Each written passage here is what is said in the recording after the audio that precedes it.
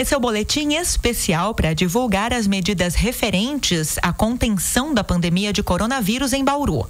O prefeito Clodoaldo Gazeta editou o decreto de calamidade pública na cidade. Essa medida foi publicada no Diário Oficial do Município do dia 29 de março, numa edição especial. A prefeitura elaborou ainda três novos decretos. Um deles tem como objetivo detalhar como deve ser o funcionamento de atividades comerciais na cidade durante esse período de quarentena. A medida tem validade até o dia 7 de abril. O documento também especifica como deve ser organizada a circulação de pessoas em supermercados e estabelecimentos essenciais. Bom, para conversar conosco e repercutir todas essas ações aqui no município, nós conversamos por telefone com o vereador Manuel Lozila. Vereador, obrigada por nos atender e por conversar com a população pelos nossos canais de comunicação. Lidiane, eu que agradeço, acho que é muito importante levar à população essa comunicação, os entendimentos e, obviamente, também colher os feedbacks daquilo que pode ser é, melhorado em relação a tudo aquilo que tem sido direcionado e determinado pelo prefeito municipal na nossa cidade. Então, bom dia a todos, boa tarde, né? E boa noite àqueles que, que estão nos ouvindo.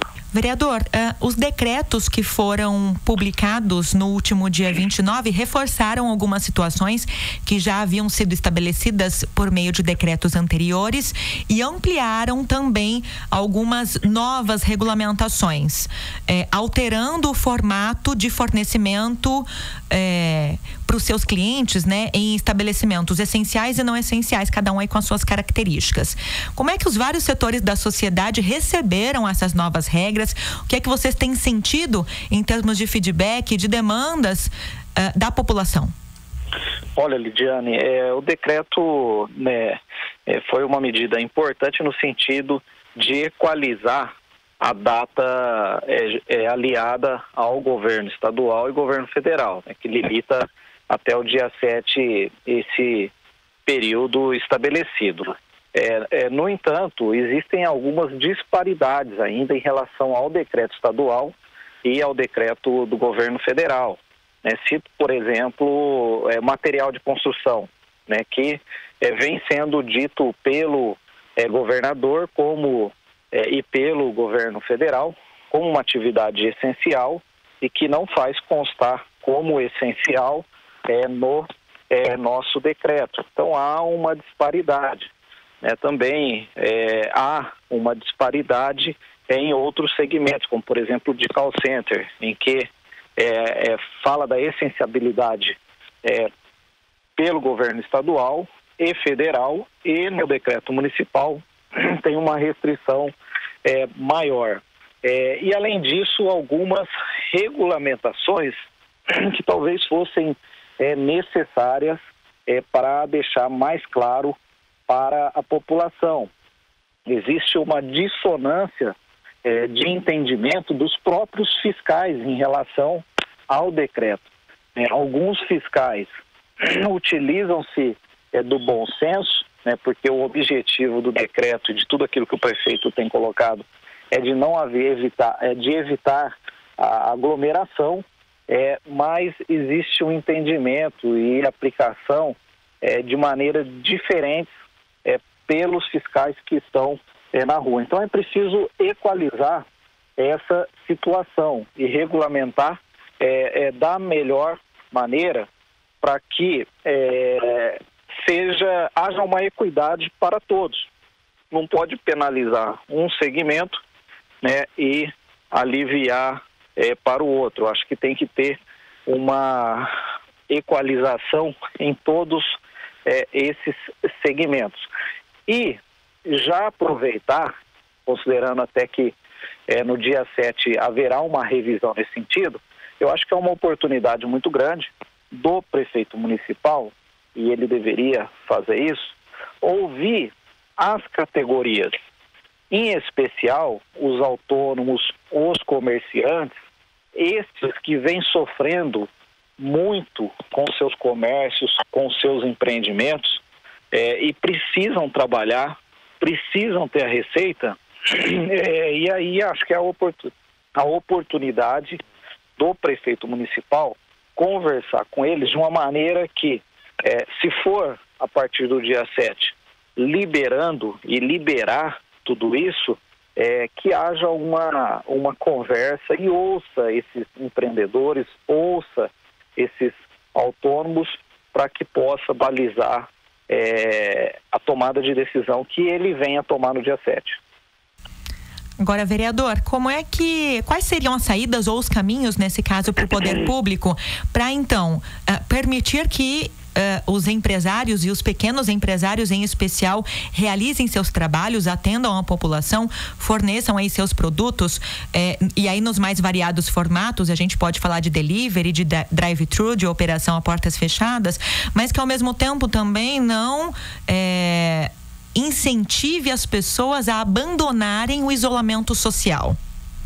Perfeitamente. É por isso que o, o prefeito municipal, né, ele tem que encontrar uma, um equilíbrio né, entre, obviamente, o que é prioridade, é, a vida das pessoas e aquilo que eventualmente venha a ser a consequência é, desse isolamento social que é o problema econômico que vai é, afetar em especial esses comerciantes, esses é, autônomos. Então, o prefeito como, é, como um todo, e até para equalizar é, e chegar nessa forma, tem que ir ouvindo é, esses segmentos é, para que o auxilie na tomada é, de decisão e talvez até para fazer compor o comitê de crise que ele instalou, instalou né? Talvez fazer dessa maneira.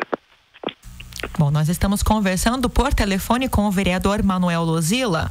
Vereador, o prefeito Gazeta declarou que este momento é um período decisivo no trabalho de combate ao vírus e que a prefeitura tem um mapa que mostra que os casos suspeitos já estão localizados, espalhados por todas as regiões de Bauru.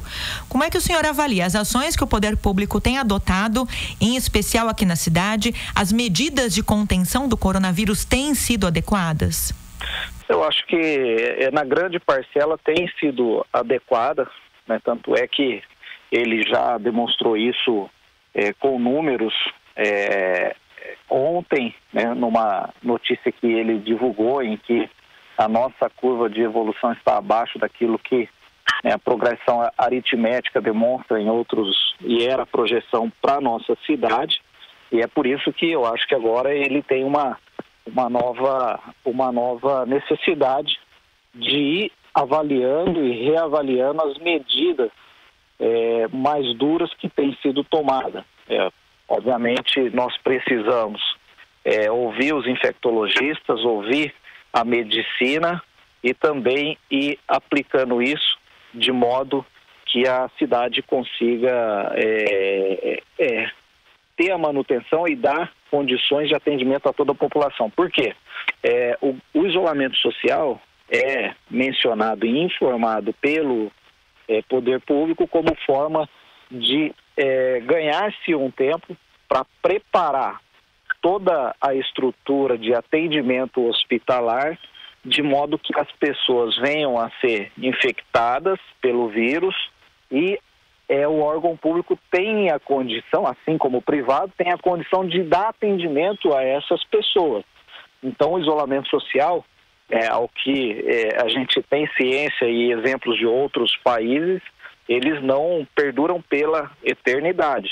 Né? Eles vão sendo é, é, é afrouxados à medida que é, os órgãos públicos, as estruturas hospitalares estão em condições de atendimento é, à população. Então a gente espera que essa estrutura hospitalar ela seja é, urgentemente atendida para que o prefeito possa ir avaliando e tomando as decisões que melhor convir para a nossa cidade. Até o momento, em virtude de não termos estruturas preparadas para atendimento é, daquilo que era projeção de infectados, acredito que ele tomou é, é a medida correta. E daqui para frente, a cada dia tem que ir fazendo uma análise é, para ir, ir tomando as decisões. A gente sabe que uma série de medidas vem sendo tomadas, como o senhor comentou aqui, pelo poder público do município. Por exemplo, a instalação de um posto avançado Covid-19 dentro de alguns dias, né? Uma unidade anexa ao pronto-socorro central, oferecendo já de imediato 10 leitos com respiradores e também a possibilidade de avaliação clínica de pacientes com sintomas leves e graves, né? A tentativa de, de compras, né? Houve já a informação de que a nossa unidade regional aqui do Adolfo Rodolfo Lutes vai passar a fazer uh, aproximadamente mil exames por semana, mas, vereador Lozila, é consenso por parte dos especialistas de saúde da cidade que 100 a 172 unidades dos leitos hospitalares, é, por meio da inauguração, né, do início de funcionamento do Hospital das Clínicas, fica difícil entrar com força nessa operação de guerra que está sendo montada para o combate ao coronavírus. Essa é a sua avaliação também. A Câmara fez um ofício ao governador João Dória pleiteando a abertura do Hospital das Clínicas o mais rápido possível. Como é que tem sido eh, esse diálogo? O prefeito tem intermediado o diálogo junto uh, ao governador, lembrando que são do mesmo partido, inclusive, né? Como é que está essa questão política nos bastidores? Perfeitamente. O posto avançado de atendimento aos pacientes do Covid é importante é no sentido de centralizar, mas é, não são os 10 leitos que vão resolver e dar amparo para atendimento de toda essa população que pode vir a ser é, infectada. Né? Então, isso não resolveria. Né? Eu acho que é, o que resolveria, daria sustentação para atendimento é para que a gente possa salvar vidas na nossa cidade em virtude é, dessa pandemia, é exatamente a liberação dos 172 leitos do Hospital da Clínica, é, que foi comprometido pelo governador é, João Dória com a nossa cidade. 172 leitos equipados com respiradores, é, todo estruturado. É, isso, sim, aliado aos demais leitos que nós temos é, nas nossas cidades, a esses 10 leitos do posto avançado, é que vai é, nos dar é, um certo conforto para encarar e enfrentar essa pandemia.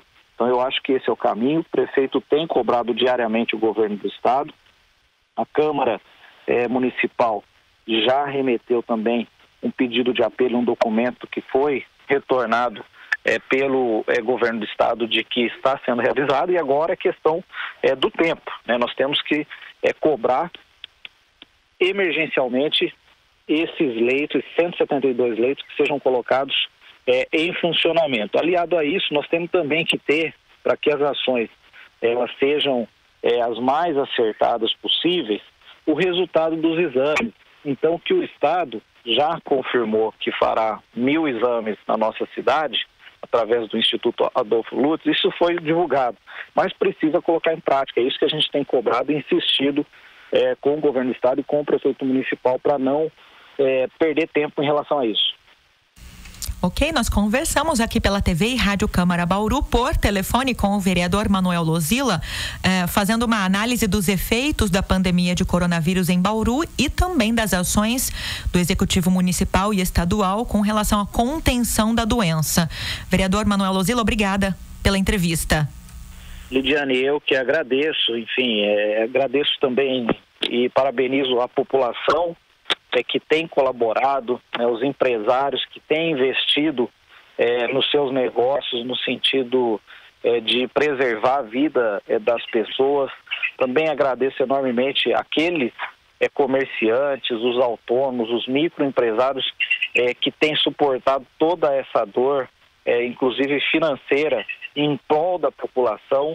e espero que o governo municipal, estadual, federal reconheça o esforço né, que todas essas pessoas estão fazendo, dando a eles um suporte necessário né, e a contrapartida que eles precisam para alavancar é, os seus negócios na retomada é, econômica que deve acontecer em breve, se Deus quiser, a gente é, passar por essa crise juntos aí. Ok, obrigada, vereador, mais uma vez e um ótimo dia. Obrigado, um bom dia. Bom, os trabalhos das comissões especiais de inquérito instaurados na Câmara Municipal de Bauru estão paralisados. Os vereadores investigam o andamento das obras da estação de tratamento de esgoto e também irregularidades na Coab, a Companhia de Habitação Popular de Bauru. Audiências públicas e sessões solenes também estão suspensas, assim como atendimento presencial nos gabinetes. Bom, cidadãos devem acionar os parlamentares pelo telefone, por e-mail ou pelas redes sociais.